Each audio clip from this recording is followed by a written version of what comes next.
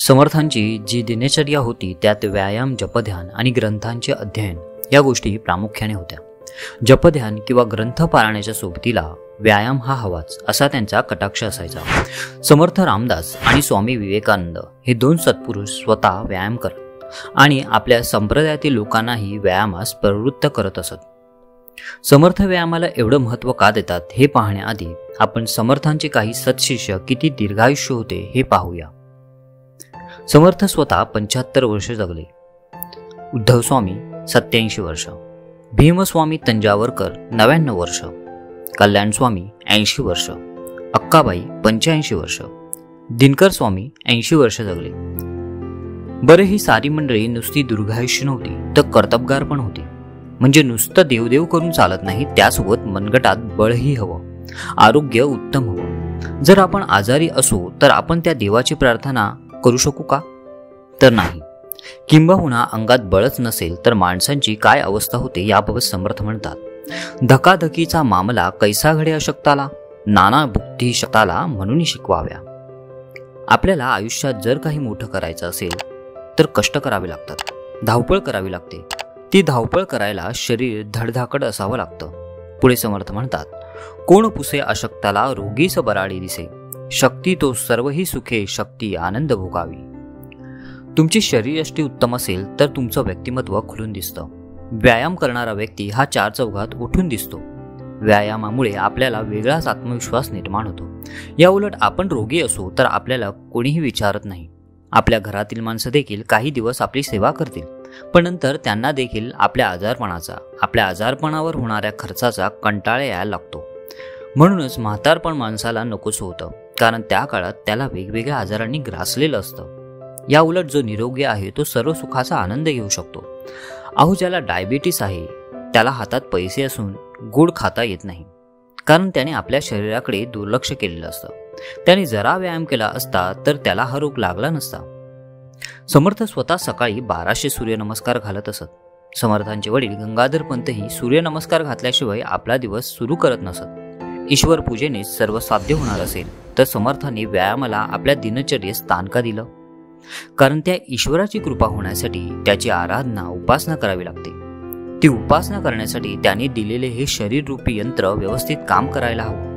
त्यात जर बिघाड झाला तर आपलं मन सद्गुरूचरणी लीन होणार नाही हे समर्थांना माहीत होतं.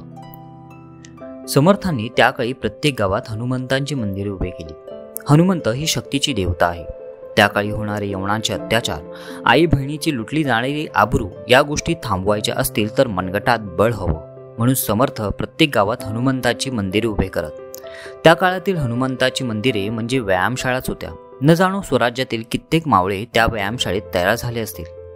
शक्तीहीन दुर्बल समाजासाठी समर्थ म्हणतात शक्तीने पावती सुखे शक्ती नसता विटंबना शक्तीने नेटका प्राणी वैभव भोगिता दिसे.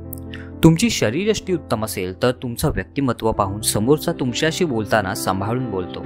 या उलट आपण शरीराने दुबळे असू तर आपल्याला कानाखाली मारायलाही पुढचा मागचा विचार केला जात नाही.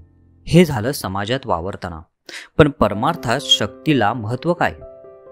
मुळात परमार्थिक माणसाने कोणाशी वाद घालू नये शांत राहावं. प्रत्येकाला त्याच्या कर्माचं फळ मिळतंच. आपलं वाईट करणाऱ्यालाही आज न उद्या फळ मिळेल असं बऱ्याचदा सांगितलं जातं. सर्वसाधारणपणे संत म्हटलं की अगदी गायीपेक्षा गरीब. समाजाकडून होणारा कुठलाही त्रास सहन करणारा असा एक समज असतो. यावेळी संत तुकारामांची ओवी आठवावी. भले तरी देऊ कासेसी लंगोटी नाठाळांच्या माती हाणू काठे. तुकाराम महाराज म्हणतात आपणहून आम्ही कोणाच्या वाट्याला जाणार नाही पण जर का विनाकारण कोणी आमची खोडी काढू पाहत असेल तर तुमची काही धडगत नाही हे नीट ध्यानात ठेवा. मुळात आपला अनुभव असेलच की परमार्थ करणाऱ्या व्यक्तीची समाजात टिंगलटवाळी केली जाते. आहो पण जर तुम्ही बलवान असाल तर काय विषयात कोणाची तुमच्याकडे वाकड्या नजरेने पाहायची? इथे प्रश्न उभा राहतो की मग आपण मूर्खाशी पण वाद घालत सुटायचा का? त्यासाठी समर्थ म्हणतात शक्तीने मिळती राज्ये युक्तीने यत्न होत असे. शक्ती युक्ती जय ठाई तेथे श्रीमंत धावते. शक्ती तर हवीच पण त्यासोबत युक्ती हवी.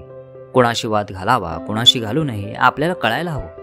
काही गोष्टी शक्तीने साध्य होतात तर काही गोष्टी नुसत्या युक्तीने साध्य होतात. त्यासाठी सर्वात मोठं उदाहरण म्हणजे छत्रपती शिवाजी महाराज. त्यावेळी अनेक लढाया महाराजांनी शक्ती आणि युक्तीच्याच बळावर जिंकल्यात. आता इथे दुसरा प्रश्न असा उभा राहतो की सर्वांनाच व्यायामशाळेत जाऊन व्यायाम करणं शक्य नसतं. मग अशावेळी काय करावं? मुळात व्यायाम म्हणजे वजन उचलणं असं होत नाही. ज्या गोष्टीमुळे आपल्या शरीराला बळ मिळणार असतं त्या गोष्टी कराव्यात. किमान चालणं तरी करावं. आपली हल्लीची जीवनशैली ही बैठे काम करण्याची झाली आहे. त्यामुळे आपल्याला नाना रोग लागले आहेत. ज्याला जे जमतं त्याने तसं करावं. धावावं पायऱ्या चढाव्यात योगा करावा. पण किमान दिवसातून वीस मिनटं तरी आपल्या शरीरासाठी द्यावीत. त्यात आपलाच फायदा आहे. तुम्ही आता थोडा वेळ स्वतःसाठी दिलात तर तुमची कष्टाची कमाई कोणत्याही डॉक्टरच्या घशात घालायची वेळ तुमच्यावर येणार नाही. म्हणून प्रत्येक परमार्थिक माणसाने देवपूजेसोबत व्यायामाला आपल्या दिनचर्येत सामील करायला हवं. हल्ली वेळ मिळत नाही असं सांगितलं जातं. पण ज्याची त्या परमेश्वराचरणी सद्गुरूचरणी जास्तीत जास्त सेवा करण्याची इच्छा आहे तो आपल्या मनासोबत शरीराकडेही लक्ष नक्कीच देईल. कारण शरीर उत्तम नसेल तर मनही त्या समर्थचरणी लागत नाही हे मात्र खरं.